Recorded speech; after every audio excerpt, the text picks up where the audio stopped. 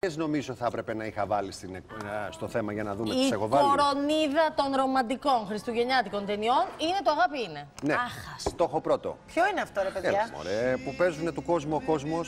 Ωραία. Που είναι, και μετά τι πρωθυπουργός- κάνουμε. Hugh είναι Grant. πρωθυπουργός ο Hugh Grant. Αχ, δεν μου αρέσει αυτή η ταινία. Δεν γίνεται να μη σ' αρέσει, Καλά. δεν την έχεις δει καλά. Δώστε μου, ρε, παιδιά. Όχι, όχι, δεν το δέχομαι. Όχι, όχι. Την έχω δει τρεις φορές σε επανάληψη στην Νόβα. Δεν το Αλλά δεν δέχομαι. μου άρεσε ποτέ. Αλλά μπορεί να είναι μια ταινία που να πιάσει πάρα πολύ. Παιδιά, εδώ δεν κοιτάμε το δικό μου γούστο. Κοιτάμε ο κόσμο να ευχαριστηθεί. Το κρατάω Λογικά, αυτό ρε το δεν παιδιά. κοιτάμε το δικό μου γούστο για θέματα μέσα στη χρονιά πολλά που θα κάνω.